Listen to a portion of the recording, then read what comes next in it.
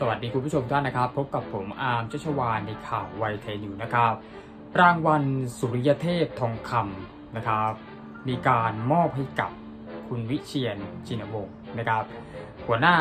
อดีตหัวหน้าเขตรักษาพันธุ์สัตว์ป่าทุ่งใหญ่นเรศวรด้านตะวันตกนะครับ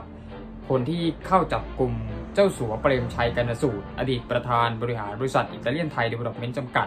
ในคดีการฆ่าเสือดำนะครับ แน่นอนว่าเป็นฝีมือการจับกลุ่มของหัวหน้าวิเชียน นะครับ และทำให้นายเปรมชัยและพวกเนี่ยต้องถูกตัดสินจำคุกนะครับ ในที่สุดเนี่ยโดยนายเปรมชัยถูกจำคุกเป็นเวลาถึง 2 ปี 14 เดือนด้วยกัน แน่นอนว่าถูกชื่นชมแล้วก็ยกย่องให้เป็นวีรบุรุษนะครับในการกอบกู้ศักดิ์ศรีแล้วก็ชีวิตให้กับเสือดำที่ถูกฆ่าในวันนั้น ล่าสุดนะครับวันนี้ครับ 21 มกราคม 2565 ดรอาทิตย์อุไรรัตน์ครับอธิการบดีมหาวิทยาลัยรังสิตนะครับมีการออกมาเปิดเผยครับว่า มหาวิทยาลัยรังสิตนะครับจะมอบรางวัลสุริยเทพทองคำให้แก่นายวิเชียนชินวงศ์วีรบุรุษแห่งทุ่งใหญ่นเรศวรนะครับในพิธีประสาทปริญญาบัตรปริญญามหาวิทยาลัยรังสิตประจำปี 2564 นะครับในวันที่ 23 มกราคมที่จะถึงนี้ พร้อมคำประกาศเกียรติคุณที่ว่านะครับวิเชียนชินวงศ์วีรบุรุษแห่งทุ่งใหญ่นเรศวรผู้ที่ได้รับยกย่องกรณีนำเจ้าหน้าที่เข้าจับกลุ่มนายทุนใหญ่ และพวก ขณะกำลังลักลอบล่าสัตว์สงวนและฆ่าเสือดำ ในเขตรักษาพันธุ์สัตว์ป่าทุ่งใหญ่นเรศวรด้านตะวันตก จังหวัดกาญจนบุรี เมื่อเดือนกุมภาพันธ์พศ 2561 ที่ผ่านมานะครับ การเข้าจับกลุ่มในครั้งนี้เนี่ยแม้ว่าจะได้รับแรงกดดันจากหลายฝ่ายในฐานะตัวแทนของผู้กล้า และด้วยจิตวิญญาณของข้าราชการที่ดี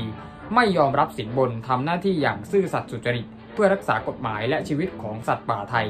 จึงไม่เกรงกลัวต่ออิทธิพลใด ๆ จนนำมาสู่การจับกลุ่มในหนึ่งในมหาเศรษฐีของประเทศไทยนะที่กระทำความผิดต่อคดีดังกล่าวในที่สุด ปัจจุบันนะครับวิเชียนชินวงศ์เนี่ยมีตำแหน่งเป็นหัวหน้าโครงการพัฒนาพื้นที่ลุ่มน้ำห้วยบางทรายตอนบน อันเนื่องมาจากพระราชดำริที่อำเภอดงหลวงจังหวัดมุกดาหารนะครับคือศูนย์ปฏิบัติการพัฒนาฟื้นฟูวิจัยต้นน้ำเหนืออ่างเก็บน้ำห้วยตะเปิกและยังคงทำงานดูแลธรรมชาติ เช่นเดิมอยู่นะครับ มหาวิทยาลัยรังสิตพิจารณาแล้วครับ เห็นว่าด้วยคุณงามความดียึดมั่นในคุณธรรม จริยธรรมในการทำงานของหัวหน้าวิเชียนชินวงศ์ก่อให้เกิดประโยชน์อย่างยิ่งต่อบ้านเมือง อีกทั้งยังเป็นแบบอย่างที่ดีต่อนักศึกษาและบุคลากรของมหาวิทยาลัยรังสิตตลอดจนบุคคลในภายในชาตินะครับ จึงสมควรได้รับการยกย่องเชิดชูเกียรติให้รับรางวัล สุริยเทพทองคำประจำปีพุทธศักราช 2564 นี่ครับสำหรับหัวหน้าวิเชียนนะครับเป็นศิษย์เก่าวรรณศาสตร์รุ่น KU 59 มหาวิทยาลัยเกษตรศาสตร์ โดยเริ่มรับราชการตำแหน่งนักวิชาการป่าไม้ปฏิบัติการนะครับ ก่อนหน้านี้เนี่ยเคยเป็นหัวหน้าเขตรักษาพันธุ์สัตว์ป่า ภูสีฐานจังหวัดอุบลราชธานีมาก่อนครับ โดยทำงานเป็นที่ประจักษ์นะครับ เมื่อวันที่ 25 ตุลาคม 2516 เนี่ย บุกจับขบวนการค้าไม้พยุงข้ามชาติ มีการติดสินบนเจ้าหน้าที่เช่นกันครับ หรือว่าคดีรวบนักการเมืองท้องถิ่น ของอบจมุกดาหารในมีการลอบล่าสัตว์ป่า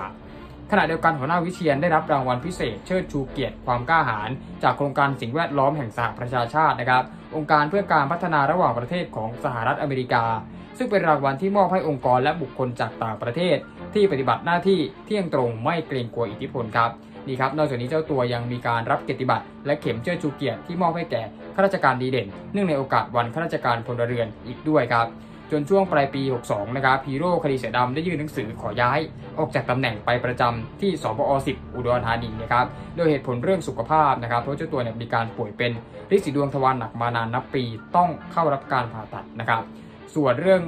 ครอบครัวเนี่ยสละโสดเข้าประตูวิวากับปวีนาประเสริฐสังนะครับ แฟนสาวที่บ้าน กุดริมอำเภอคุ้งเก่าจังหวัดกาลสินไปเมื่อวันที่ 12 มีนาที่ผ่านมานี่เองครับ ซึ่งก็มีการจัดงานเป็นไปอย่างเรียบง่ายนะครับ ก็ต้องขอแสดงความยินดีครั้งกับหัวหน้าวิเชียนจินวงด้วยครับข่าวไวทีนิวครับ คุณจะไม่พลาดทุกกระแสร้อนของสังคมครับ